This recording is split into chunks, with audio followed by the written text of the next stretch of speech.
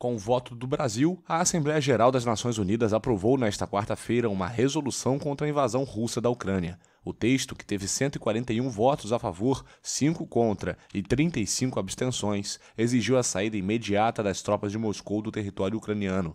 A iniciativa condena nos termos mais fortes a agressão da Federação da Rússia contra a Ucrânia em violação do artigo 2 da Carta das Nações Unidas.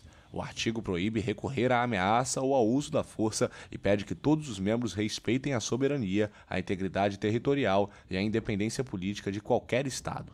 Now, at more than any other point in recent history, Agora, mais do que em qualquer outro momento da história recente, as Nações Unidas estão sendo desafiadas. Se as Nações Unidas têm algum propósito, é impedir a guerra, é condenar a guerra, parar a guerra. Esse é o nosso trabalho aqui hoje, é o trabalho que você foi enviado aqui para fazer, não apenas por suas nações, mas por toda a humanidade.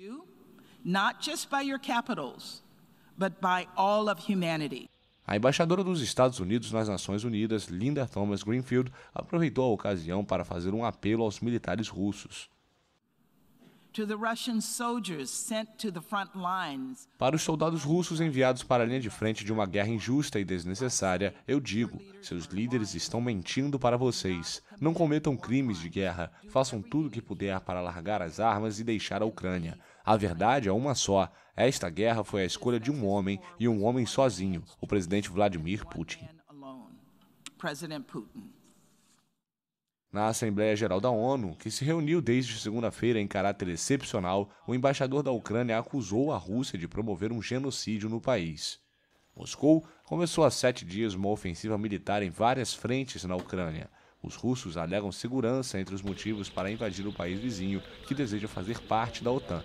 De acordo com as Nações Unidas, mais de 350 civis foram mortos até agora no conflito.